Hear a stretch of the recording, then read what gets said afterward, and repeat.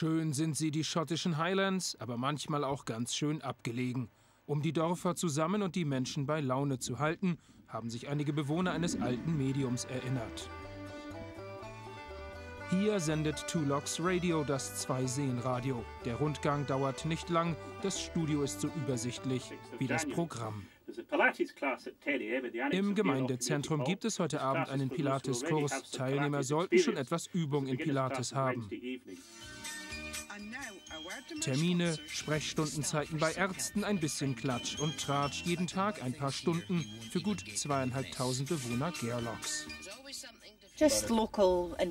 Ich mag die örtlichen Nachrichten und die Musik ist auch gut, von traditionell schottisch bis zu modernem Pop.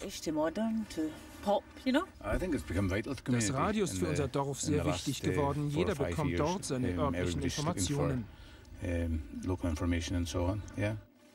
David Carruthers betreibt den einzigen Laden in Gerloch. Er schaltet Werbung beim örtlichen Radio und unterstützt es, wo immer er kann.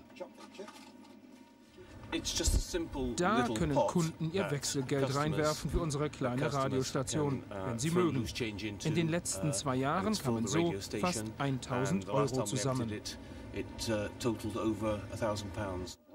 das gemeinnützige Radio finanziert sich durch Spenden, öffentliche Zuschüsse und Werbung. Es musste eine Sendelizenz erwerben, wie große Stationen auch. Heute verbindet es Gerloch mit der Welt und die Welt mit Gerloch. Wir senden wie viele Radios auch im Internet. Wir bekommen E-Mails selbst aus Dubai, Australien, Südafrika, Island, den USA, von überall her dort, wo Schotten zu Hause sind. Heimatliche Klänge in aller Welt. Britanniens kleinste Radiostation macht Schotten und ihre Highlands ein kleines bisschen weniger einsam.